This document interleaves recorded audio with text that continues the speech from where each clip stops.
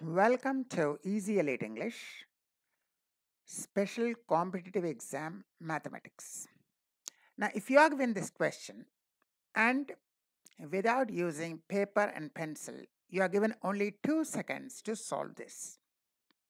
The first is x, the second is y, and the third is z. And the square root, then again square root. But note that there is a plus sign uh, between the numbers. The plus sign is there. And x, y, z are given to be natural numbers. Then find x plus y plus z. And you are given time only 2 seconds. How can you do this? And if you cannot do it in 2 seconds, then watch this video. For this is very easy if you know the trick. Now let us see how to do this in a tries. Now we break each of the numbers into two consecutive factors, two consecutive integer factors and take the larger number. Now we are taking the larger number because there is plus sign. If it is minus sign, then you would be taking the smaller number.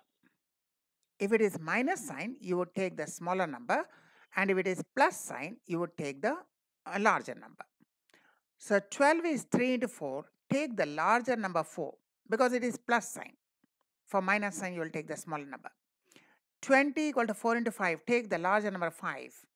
30 equal to 5 into 6. So take 6. So in each case, break it into two consecutive number factors and take the larger number for plus sign. And now you can say x is 4, y is 5, z is 6. So you get 4 plus 5 plus 6 or 50. Now we will see the logic behind breaking them into two consecutive numbers and taking the larger number for plus sign and smaller number for minus sign. On squaring, what do we get?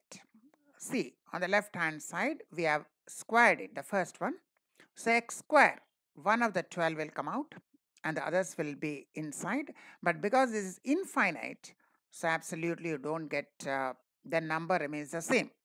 Don't think that out of 4, 1 has come out, you will remain 3. No, this is an infinite. So you get x square equal to 12 plus the remaining is x. And when you factorize by using the breaking the middle term, you get x equal to 4.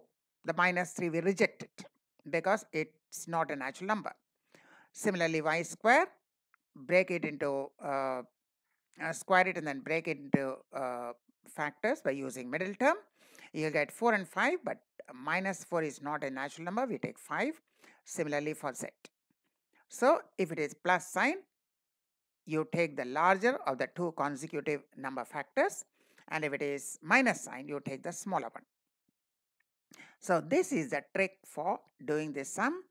12 broken into 3 into 4. The larger number 4 is taken if the sign is plus and the smaller number will be taken if the sign is minus. Similarly, 20 is 4 into 5. We take the larger number because the sign is plus. 30 is 5 into 6. We take the larger number because the sign is plus. And then now we can easily add and find x plus y plus z. We shall be back with more interesting things and useful things. Thanks. Keep watching. Like and share our videos and subscribe to the channel Easy mm. Elite English. Till we meet again, thank you and goodbye.